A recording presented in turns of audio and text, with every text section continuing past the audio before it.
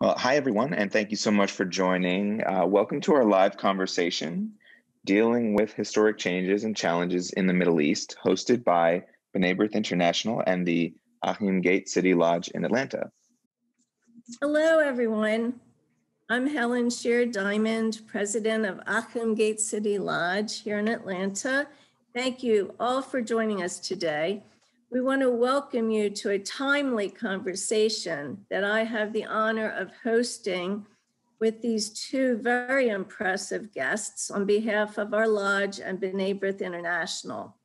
Very briefly, if you have any questions, we would like you to ask the speakers by submitting them via the Q&A function on your screen. I am pleased to introduce Mr. Daniel S. Mariaschin, CEO of B'nai B'rith International. As CEO, Mr. Mariaschin directs and supervises B'nai B'rith programs, activities, and staff in countries around the world where B'nai B'rith is organized. He also serves as director of B'nai B'rith Center for Human Rights, and public policy, where he presents B'nai B'rith's perspective to a variety of audience, including Congress and the media, and coordinates the center's programs and policies on issues of concern to the Jewish community.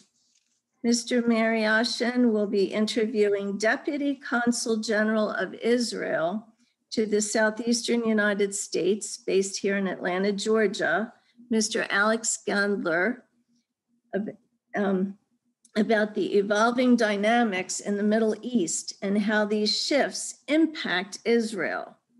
Mr. Gandler is stepping in today for Consul General Anat Sultan Dadon, who has been called out of town. Alex Gandler assumed his role as the Deputy Consul General of Israel to Southeastern United States in August 2019. Deputy Consul General Gandler has served as the press attache at the Israeli Embassy in Moscow, Russia. Prior to joining the Israeli Foreign Service, he worked in the Knesset as a legislative assistant and spokesperson.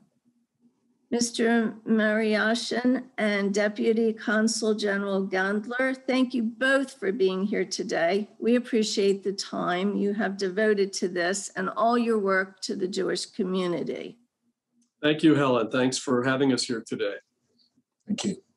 I'll now turn things over to Mr. Mariaschin, who will speak with Mr. Gandler about the changing dynamics in the Middle East and his work in the southeastern United States at the Israeli consulate here in Atlanta. Well, thank you, Helen. Thank you for the kind introduction. Uh, Deputy Consul General Gandler, thank you so much for stepping in and joining us today. And uh, I'd like to uh, jump right into things with a question that's on everybody's mind, and it's not necessarily a Middle East issue, it's a global issue, and that's COVID 19. Israel really has uh, established a, standard uh, for how a rollout of vaccines is uh, is to be done. Uh, tell us about that, and tell us about Israel's success in that regard. Well, thank you very much, uh, Daniel. Um, Israel's success um, regarding COVID 19 and the vaccination process that's going on in Israel at the moment uh, is regarded a world success, and Israel is the first country to uh, have such a wide vaccination of its population. And uh, to be honest, it started in Israel because of uh, three things. Uh, one is our uh, very robust and free healthcare system, which also saves data uh, um, our relative small population and agreements reached by Israel with uh, Pfizer and Moderna regarding vaccinations. Um, just yesterday or two days ago, I saw that uh, the city where I come from in Israel, Jerusalem, uh, put out mobile vaccination sites in the Machne Yehuda market, which is the last place I lived in before moving to Russia and then to the United States. Uh, so uh, just by putting it as close as uh, as possible to where you live or where you go to shop or uh, um, wherever is more convenient to the person, um, together with a very uh, wide campaign for vaccination in the media and through governmental bodies for all Israeli citizens and residents alike. And what do you see uh, going forward now? This is, uh, as I understand it, about um, is it 30 or 35 percent of the total population has been vaccinated, and of course, in the high risk categories, uh, very early on, almost everyone uh, who who sought to have a vaccination got one. Um, what's the plan for the the remainder of, of the population? How does that work? It's a challenge, and I think it's a challenge that the world looks in is, at Israel and understand that it's going to uh, uh, deal with as well when the time comes. Uh, it's a PR challenge more than anything. Uh, pe- young people or people who are already sick, sick or uh, even skeptics of vaccinations are presenting a challenge towards full uh, vaccination of the of the population, and that is why we have a very big and very well-funded campaign in Israel regarding uh, the vaccinations to try and attract as much uh, of the young population as possible. I've heard of bars offering shots uh, and free beers uh, for people who will come to be vaccinated in the bar. Um, the same thing with supermarkets and other facilities. And as I said earlier about the Machne market, uh, which if, if you've been to uh, Jerusalem for the past 10 years, has become uh, quite a young scene.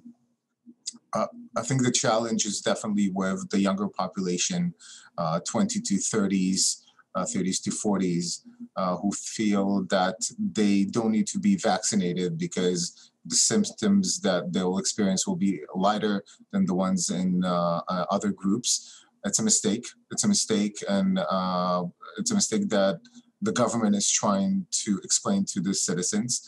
Um, even if you don't get sick, even if you are asymptomatic, what will happen is you will spread the disease and you will be uh, responsible for the well being of your family and loved ones around you.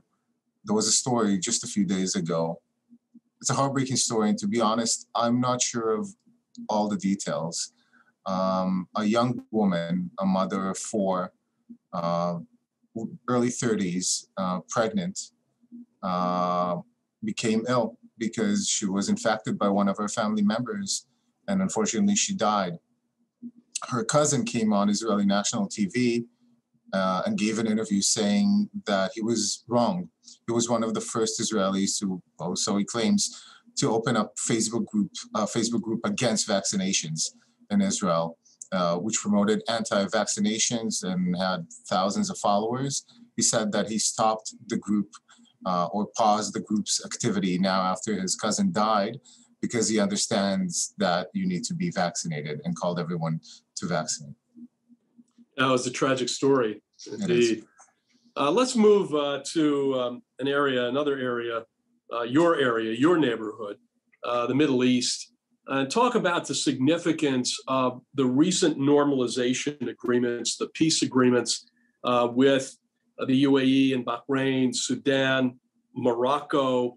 Um, 2020, in, in, that regard, was a was a very positive year uh, for those who have been working so long to bring about uh, this kind of normalization.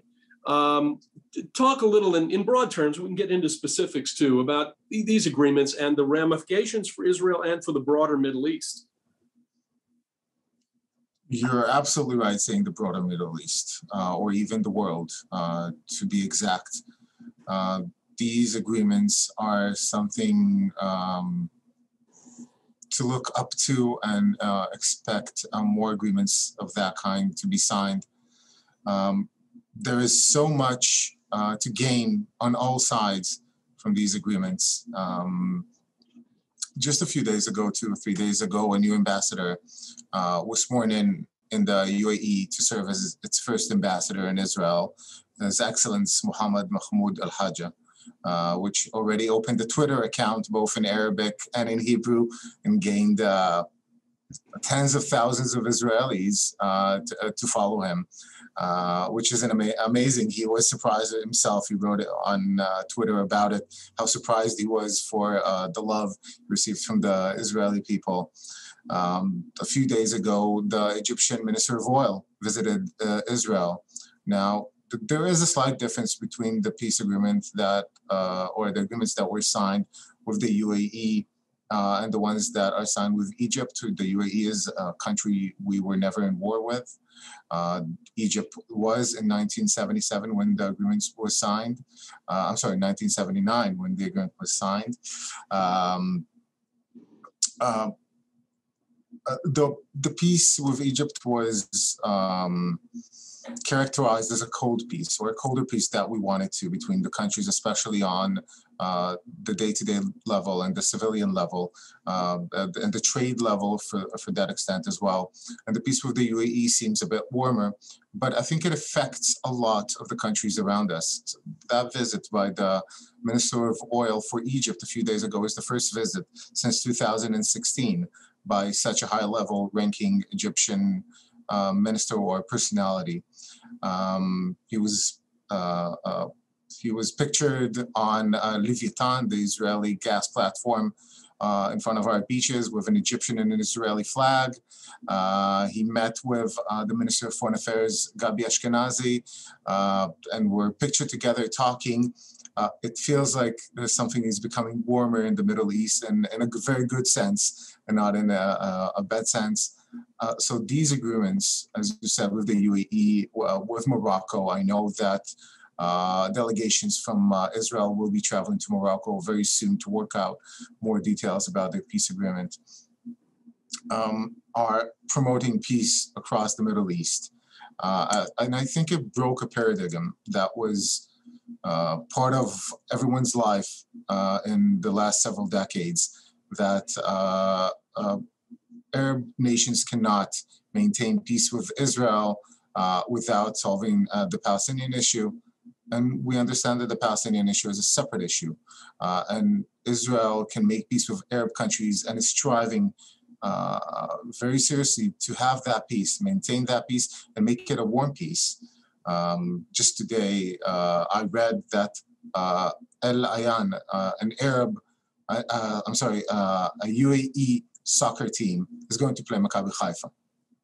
I'm sorry, I'm a soccer fan. Uh, I'm, uh, I, I, to be honest, I, I'm a Beitar Jerusalem fan more than a Maccabi Haifa fan, but I am so happy to see that the peace reaches such levels where you'll be able to see Israel play Middle Eastern teams, something that didn't happen before. I think the last games against Middle Eastern teams uh, were probably Maccabi Tel Aviv somewhere in the Asia Cup in the 70s, maybe. Uh, but before that, we're talking about mandatory Palestine. And we have those posters of the mandatory Palestine and brackets AI, Eretz Israel, uh, playing against uh, the Cairo British Mandate soccer team. Uh, those dreams are becoming realities, um, something that every Israeli strives for. It makes our life so much happier uh, to be able to travel uh, from Israel uh, to the UAE. It's the first time I think that Israelis look at traveling eastwards to the close east, um, flying over Saudi Arabia. Even a year ago, I think it, w- would have been a, a dream. Alex, let me let me ask you this because you know we of course we look first and foremost at the uh, strategic uh, implications of all of this. Extremely important because when you're talking about peace, uh, you have to talk about uh, what the strategic uh, uh, imperatives are here.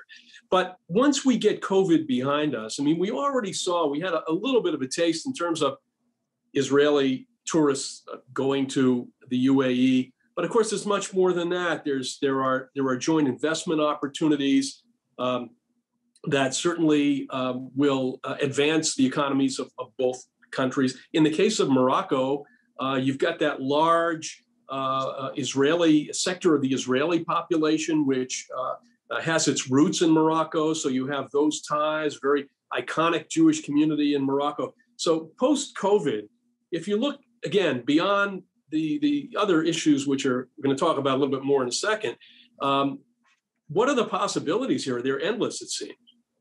It is endless, and I, w- I was looking at stats today towards this meeting to be on point and uh, uh, as much uh, um, accurate as I can. And I understood that the trade between Israel and the UAE, just the UAE, uh, since um, the the Abraham Accords has been one billion dollars. We didn't have any trade with the UAE before that and in these few months, it's one billion dollars. I was speaking to a friend of mine who uh, works in New York.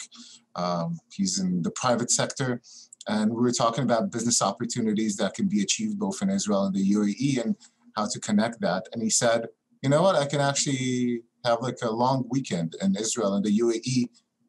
Look at companies in Israel, go and find a financier in the UAE, or exactly the opposite. Um, and businessmen from both the United States and Europe can now have day trips to the Middle East to uh, uh, to find company, fund them. It's a big and huge boost to economies uh, across the Middle East, and I think both countries saw that coming into this agreement. So, one more question on normalization. Uh, what do you what do you foresee? I mean, we've heard. Uh, I won't ask you for specific countries because we don't know exactly where where this is going. But would you uh, expect, and certainly we hope, but would you expect in 2021 that this uh, circle of normalization will expand? And uh, we're talking not only about your immediate neighbors, but also perhaps elsewhere in the Islamic world. Uh, what do you what do you see ahead? Um, I think that the focus now for uh, a lot of countries would be to take care of COVID first. Uh, to be honest, I, I, really hope that this continues and there are Islamic countries that are not in the Middle East or not near us um, that could be a, a potential um, or could be the next potential uh, um, um partner for an agreement. Even a, a, very close allies. I know that in the media people spoke about Saudi Arabia uh, for some time. Um, these things uh, do take time, a bit more time. Um, I think that a lot of the focus at the moment is on COVID. If we see any more surprises, uh, you, you, can never know. Uh, even these accords were huge surprises uh, to a lot of people. Uh, they came out of nowhere, and I think that that's one of the problem. Uh, some people are having a hard time understanding what exactly happened because of the surprise because of wait what do you mean why didn't this happen before uh, why is it suddenly happening now? Uh, and was just good opportunities. We also saw Israel uh, having new agreements with countries in Europe, Kosovo, for an example, uh, who are going to establish an embassy in uh, Jerusalem. Uh, more and more embassies are moving to Israel's capital. Um, it's, it's not a new thing. most embassies were in Jerusalem and uh, were moved to Tel Aviv uh, after the 1973 Yom Kippur War. Uh, so they're actually coming back. Most countries are going to come back to our nation's capital. Uh, hopefully, so we will see that coming on. Yes. Yeah, we saw no, like just in the last few days that uh, Equatorial Guinea uh, has yes. announced that it will move its its embassy to Jerusalem. So the uh, the year is off uh, to a good start, and of mm-hmm. course, uh, you're right. When COVID gets behind us, we look uh, for much more. Let's talk about uh, the the threat uh, to to peace and stability. We've talked about normalization, which uh, we hope will expand the, the, the area of stability. Uh, but let's talk about Iran, which poses the biggest uh, threat to the region. Its drive for nuclear weapons, its hegemonism in the region, in Iraq, in Syria, Lebanon, Yemen, its um, connection to uh, Hezbollah, of course, um, not to mention its ties with, with Hamas on, on your south. Um, but we're talking about a country that's a threat to the region. Of course, Israel is every day um, uh, a, a, a, a, rhetorical target for the Iranians, uh, threatening uh, uh one day uh, uh, that it's going to wipe out and Tel Aviv, the next day that Israel is a, cancer that has to be removed uh, from the region, but other countries are affected as well in the region. Uh, let's talk about that. How, how do you think 2021 will play out in terms of that Iranian threat? Well, it's a, it's a good connection what you just did. A, a great connection between what's going to come along, uh, what peace agreements, peace accords will come along, and what is the threat. Um, Iran Iran is a very bad actor in the international arena. Um, its arms are uh, connected to terror and are funding terror. A lot of Iranian money is going to terror, by the way, in, in the Middle East, in our region, but also uh, in the United States region as well. Uh, uh South America, uh, the Triangle of Borders uh, is filled with Iranian money funding drug trade and weapons. Um, Iran is trying to be uh, a major world player. It is now uh, a major um, air, uh, area player in the Middle East. Um, and it's trying uh, to be more effective on the international arena, obviously trying to do so by developing nuclear weapons uh, and gaining pressure by that on other other players or countries uh, that are involved in the international arena. We can see that all countries that Iran is involved in are countries that are suffering. Uh, you've mentioned Lebanon, which is having a terrible year, uh, both with the explosion, which was uh, mostly uh, a symbol of the decayness of its uh, economy and political system. Yemen, which has been at war for several years now and is not, not going anywhere, and other countries across the region whoever can um, uh, uh, escape that grasp of Iran is trying to do so. Uh, countries that we had peace accords with are definitely trying to get away from Iran, who sits just across the Gulf with uh, the UAE. Um, it, it's a bad actor. It's a bad actor, and I think the international arena and a whole understands it.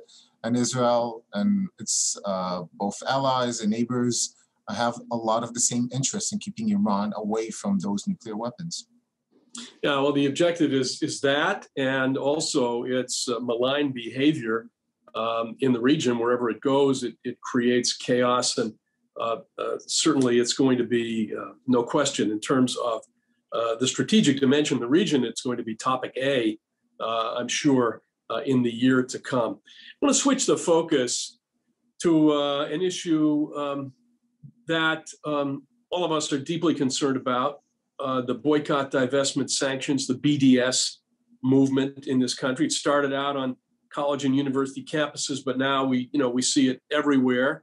Um, uh, how does the, the consulate get involved in combating BDS and anti-Semitism on the campus? Um, and how do you view this particular issue uh, from both a, a Jewish and a diplomatic perspective? I to what I want to take uh, on first uh, my Jewish identity or my diplomatic uh, position. Um, first of all, the consulate um, is in charge in this region on uh, on seven states. We sit in Atlanta, Georgia, but we also have North Carolina, South Carolina, Tennessee, Kentucky, Alabama, and Mississippi.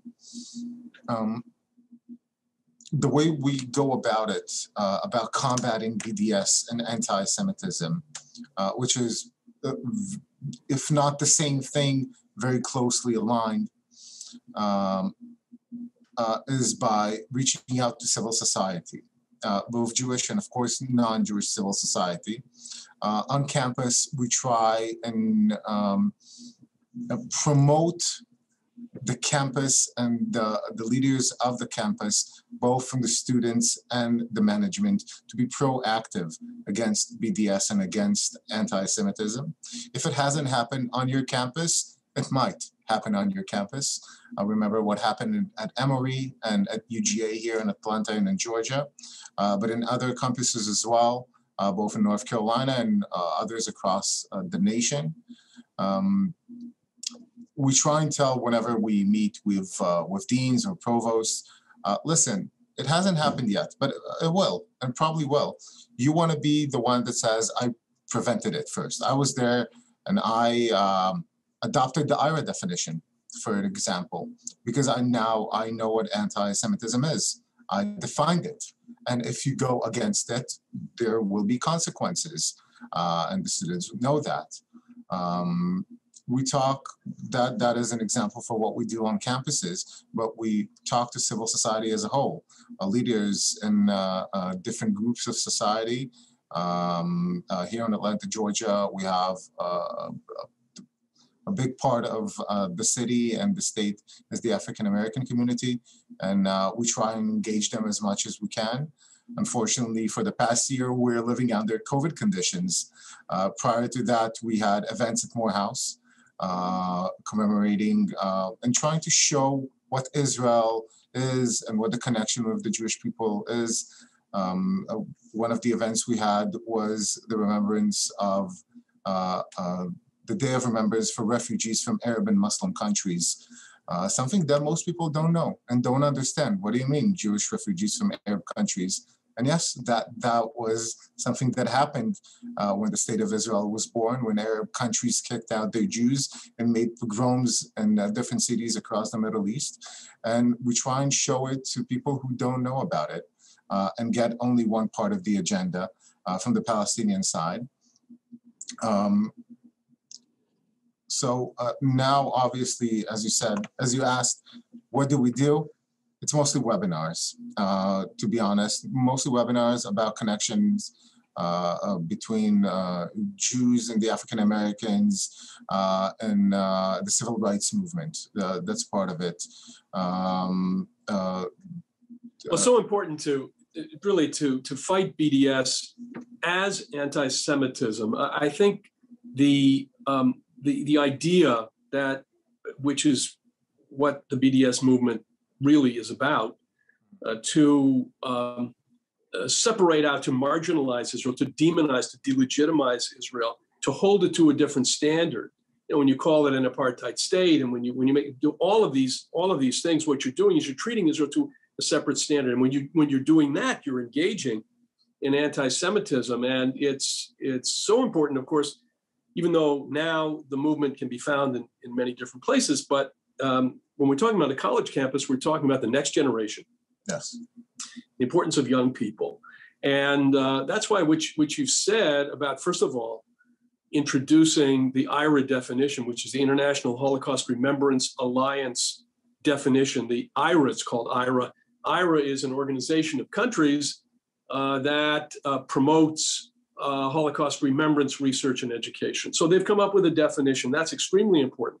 And now I understand a lot of um, university, uh, college, uh, student councils, um, universities themselves are beginning to look at the definition and and to adopt it, which which is extremely important because that is the baseline. That's the that's the definition. And from Exactly. there, and from there, then you bring in what you what you've said, which is to educate about all that Israel is. And we just talked about, you know, the COVID rollout, but we could talk about Israel as a startup nation and and and driverless cars and, and the that that pill that you take, which has the little camera, which which helps in like, you know gastroenterology. I mean, all of these things um, follow on, which of course are are Water, the desert, uh, the turn to Africa. There is there's so much to talk about. Um, when I was in Russia, we decided to show uh, Russian international students, I'm sorry, Russian students in the international school, uh, how Israel turned to Africa in the uh, 1970s.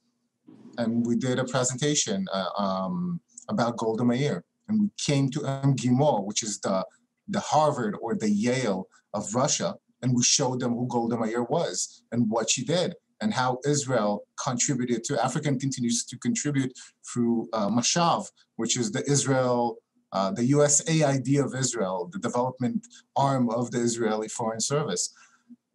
There is so much to talk about uh, about Israel and so much uh, to show other people. And IHRA does exactly as you said, give a baseline, but not only a baseline, a proactive baseline.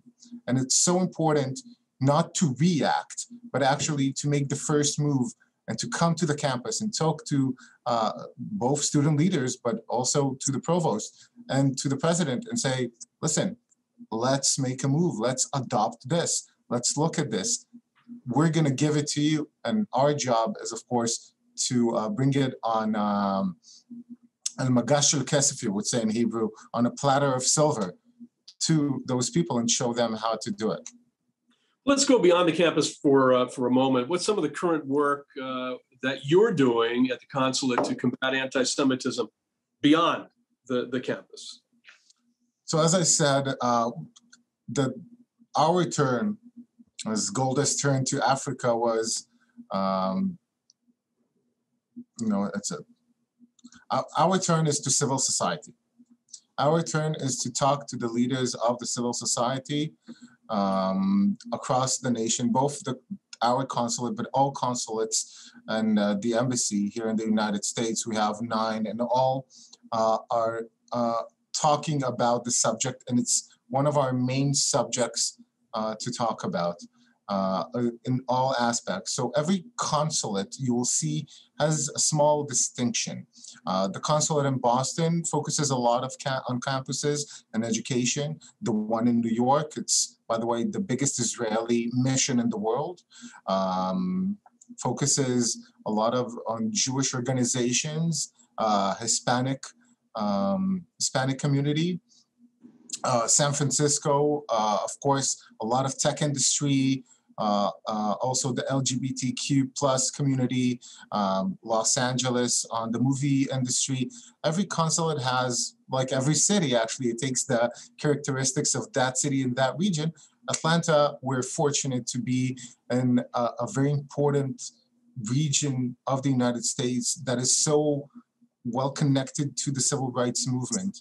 Uh, just now, I'm sitting in front of you uh, uh, because the consul general is with the ambassador uh, in Alabama, um, having a tour regarding uh, um, the civil rights movement uh, and Black History Month.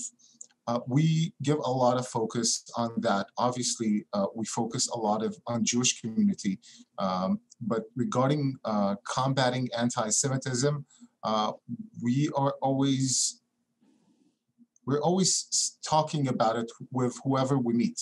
Uh, if it's the governors and uh, the ambassador, the consul general have met with the governor of South Carolina two days ago, uh, and today and today they're meeting with the governor of Alabama. Uh, they'll probably mention it in, in the speech. What is happening about combating anti-Semitism here in Alabama? Uh, what is happening when we speak to the mayor or the governor of uh, of Georgia? Uh, the mayor of Atlanta, we speak about what is happening with anti-Semitism here in Atlanta. We look at cases and we follow every time there is a swastika on a door, uh, a pamphlet on a student campus, um, uh, something said to someone somewhere.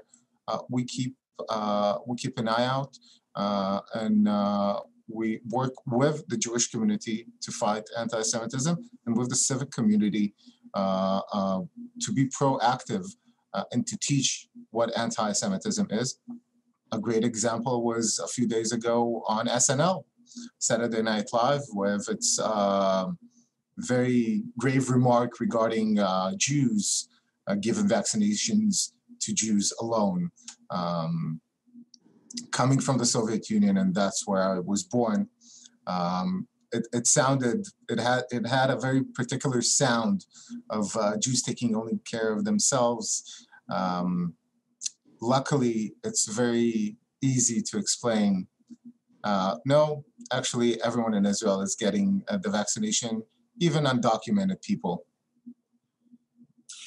Let's talk about uh, a, um, an issue. It's not an issue, actually. Let's talk about something that uh, is near and dear to our hearts, uh, and that's the Israel diaspora relationship. Extremely important uh, from day one, um, and um, and before day one. If you if you go even back before 1948, extremely Absolutely. important. Absolutely. Uh, and you're sitting now. You're sitting in Atlanta. Uh, your office covers seven uh, southeastern states. Uh, what importance does Israel place on the relationship with the diaspora. And, and, and you in particular, seeing it from your perspective now, you're not sitting in Jerusalem, you're sitting in Atlanta. So how do you see it from here? Uh, first of all, the United States, when you look at it as a whole, it's it's not a country; it's a it's a continent. Uh, but even in the biggest countries, and as I said, I was in Russia prior to coming to the United States. Russia is the biggest country in the world. It has uh, if I'm not mistaken, nine time zones. Uh, you get jet lag to fly from uh, um, even from Novos- Novosibirsk to to Moscow or from Kamchatka. You will Kamchatka is actually I think it's closer to Atlanta to, than to Moscow, and it's exactly on the other side. Um, and in Russia, we have two consulates. Uh, or I'm sorry, an embassy and a consulate. The embassy is in Moscow. The consulate is in St. Petersburg. Uh, most of Israeli missions are directed not for Israeli citizens per se, even though we do give consular services, um, but it's actually uh, to represent Israel and to engage uh, uh people who live uh, and are foreign citizens in the country that the consulate or the foreign mission is at. Um, the fact that we have uh, nine missions here in the United States alone, three more in Canada, by the way, um, just gives you an example of the importance we see speaking to diaspora here in the United States. Uh, the diaspora here in the United States, as and as you said, um, before day one, definitely before day one, way before day one, uh, was so important and crucial to the continuum of uh, Jewish people, of the Jewish people. I'm not even speaking about the state of Israel. Um, and the state of Israel looks at the diaspora uh, as uh, you know as a base for Jews, one, but also as uh, uh an unbreakable and continuable contact. Um, it is extremely important for us to maintain that relationship as one of our uh, main goals and also basic goals. Uh, there are things you can put on top of what we do here, but one of the basic things we do, and I think the first people we spoke to here uh, when both me and the consul general came to the United States, and we came uh, about the same time, uh, was to speak to the Jewish leaders in our area uh, and to understand uh, what is on their table, uh, what are the issues they're facing, how big is their congregation, how um, how how has it been going for the last few years. the Jewish diaspora, both here in the United States, and I'm speaking as someone who sits here in Atlanta, of course, but I can speak as a whole about all the Jewish diaspora in the world, also uh, in Russia and Europe, um, is extremely important to the state of Israel. Um, yes. Well, you anticipated you anticipated my next question, which was how does the consulate work with organizations like B'nai B'rith uh, that that advocate tirelessly on behalf of the state of Israel and Jews around the world and remain dedicated to improving the quality of life for people around the globe. And I think uh, I think you've answered that that we do work together uh, to bring about not only the close relations between Israel and uh, and the diaspora, but also to to advance um, again all of the all of the good things that are that are coming out of Israel that you've talked about, all of all of the the advancements in medicine and technology, agriculture, um, uh, you name it. And um, that partnership, of course, is uh, is extremely important for for historical reasons, for for uh, uh, religious reasons, and the Jewish community, and and also for reasons of the present, uh, where we work together on on so many important things. At this point, I, I think I'd like to turn it back to uh, Helen, Helen Scherer Diamond uh, to see if there are some questions that the audience may have posed. Helen. Thank you, gentlemen. We definitely had a great question. We wanted to know from one of the audience attendees. She misses her regular trips to Israel and she's had both the COVID 19 injections. She wanted to ask when she'll be able to go back to Israel to visit her family. Well, first of all, would we would be happy for her to come to Israel. I think everyone in Israel misses people coming, uh, their family. A lot of people have family abroad. My, my family, uh, uh, a lot of it is here in the New York area. So I know they want to come and visit my mom, who's now in Israel and uh, wants to see the family as well. Um, at the moment, unfortunately, due to the COVID pandemic, uh, international travel is very limited. Um, Israel is trying uh, very hard uh, via vaccination and vaccinating its uh, population uh, to allow uh, international travel to come back. We have several agreements in the in the pipeline with closer nations, um, uh, Cyprus, Italy, Greece, but they're still in the pipeline. It's something called the Green Passport. It hasn't started yet.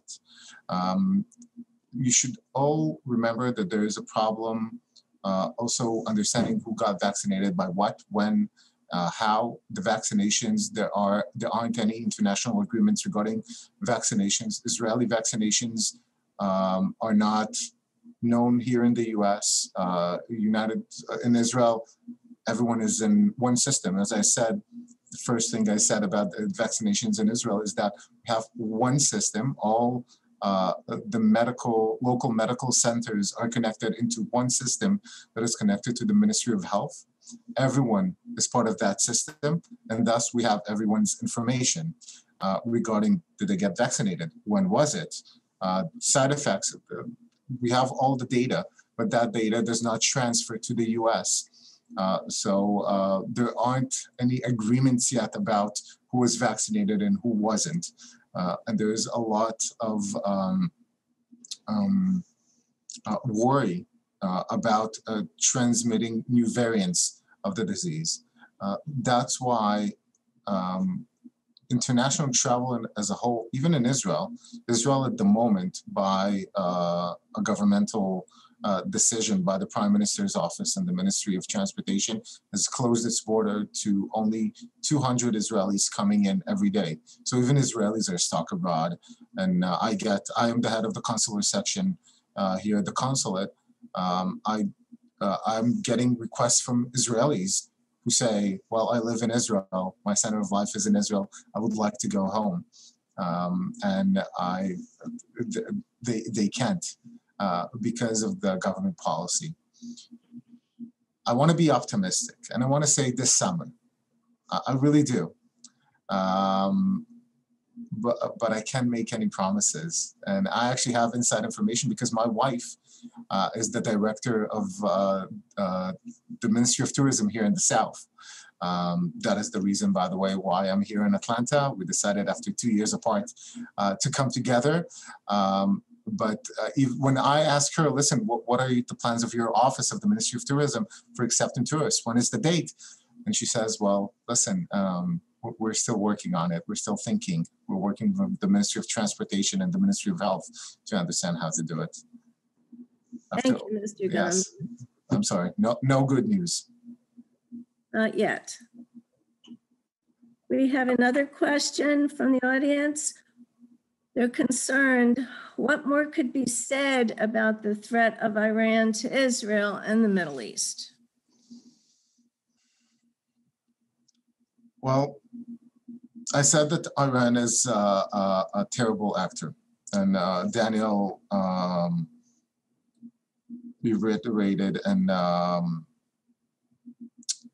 expanded on the uh, on the on the poor I'm looking for the right word. I have it in Hebrew and in Russian, but I'm looking for it in English. Uh, uh, maleficent, I'm, I'm, not sure I'm making it correctly, but uh, actions of Iran in the region. Um,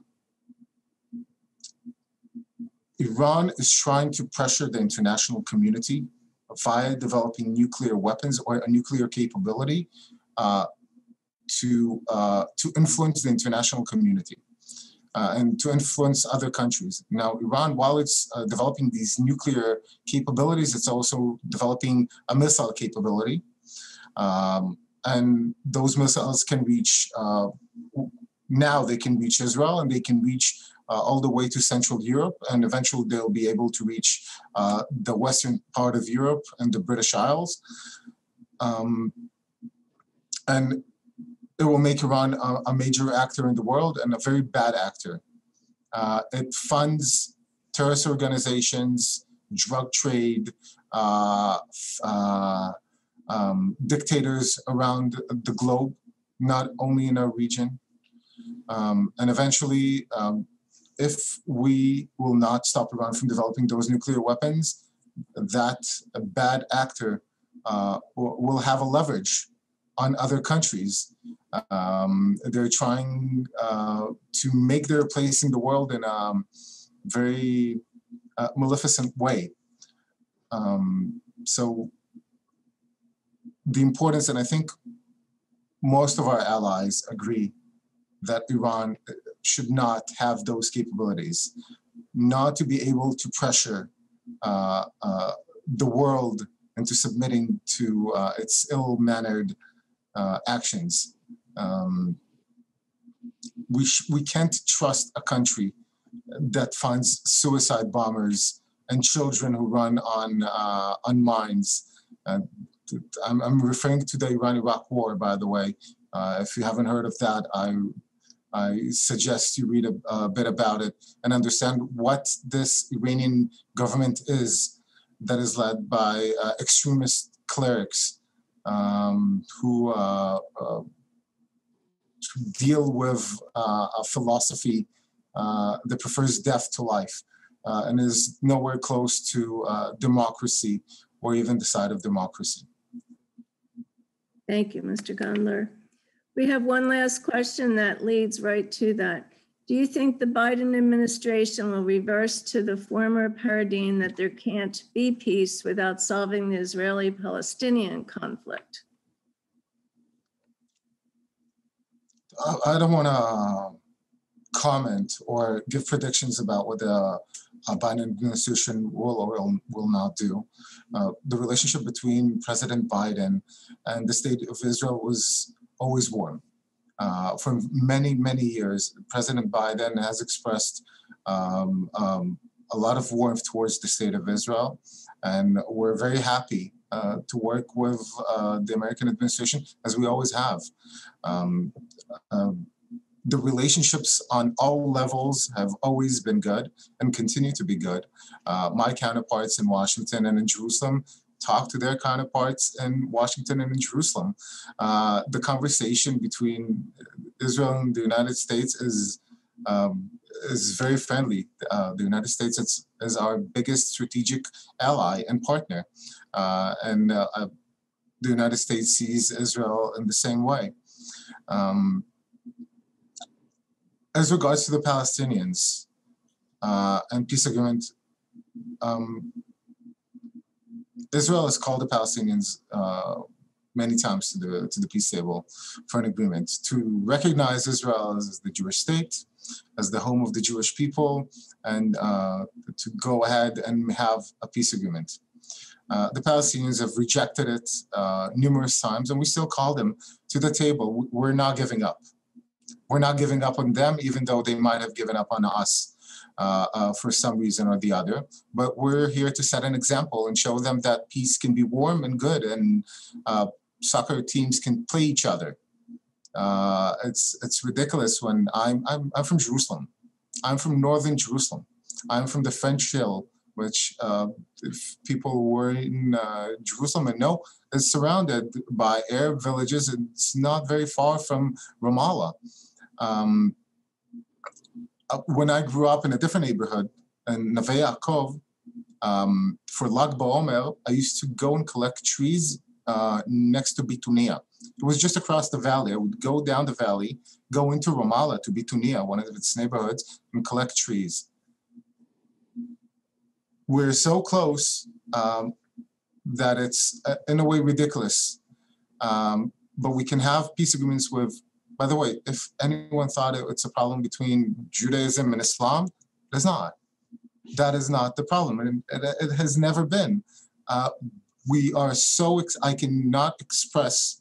I try to all the time, but I I, I still can't find the, a good way to do it. Express the joyfulness we have as Israelis to have peace agreement with uh, the with the UAE and with Morocco and with any other country that will make peace with us uh, in our region.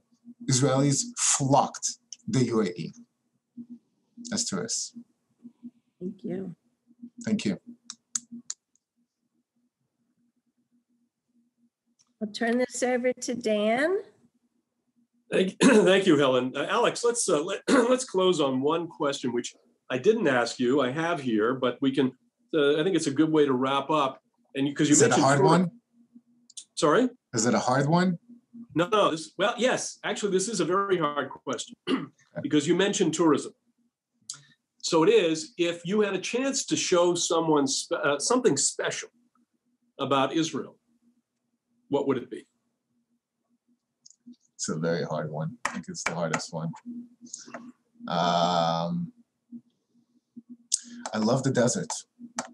I come from uh, the Soviet Union, but I love the desert. The Israeli desert, the Negev, um, the, the Judean desert. That's my favorite spot. Uh, I used to wake up very early in the morning, go to the Machne Yehuda market just before it opened, but the bakeries were open. I would buy bread, pitot, at, uh, at the bakeries of the Machne Yehuda market, pick up my friend, then we would go down to the Judean desert in, uh, in the winter. And we would go into these uh, hot pools, human-sized hot pools, which were just laid next to the to the uh, Dead Sea. Uh, you need to you need you need to know the place to find it. Um, but yes, that's probably my favorite place. Okay, we're taking notes. I Deputy Consul, recommend. Deputy Consul General Gandler, on behalf of B'nai B'rith International, the Achim Gate City Lodge, and Jews across the United States, thank you for your service and thank you for joining us today. Keep up the tremendous work. Thank you so much. I want to thank Mr. Mariaschin and thank you Deputy Consul General Gandler for all your insights. And thank you for joining today's conversation called Dealing with Historic Changes and Challenges in the Middle East. Daniel, Well- Helen, thank you so much. I also want to thank Mr. Harry Lutz, who's been a member for many years, and he is a past president who invited the consul general. The Achim Gate City Lodge has been thrilled to host this program along with B'nai, Interna- B'nai B'rith International. And we've been a proud sponsor of B'nai B'rith, Israel, and the Jewish people in the community and the lodge for 150 years. We've had a lot of opportunities for individuals and other organizations to work with and be involved with all of our efforts and look forward to seeing all of you in our future virtual programs. Please look for information about us on the Atlanta Jewish Connector and B'nai B'rith's website, b'naibrith.org. I would like to also share with everyone that the recording of this conversation will be available on demand on the B'nai B'rith International YouTube channel shortly.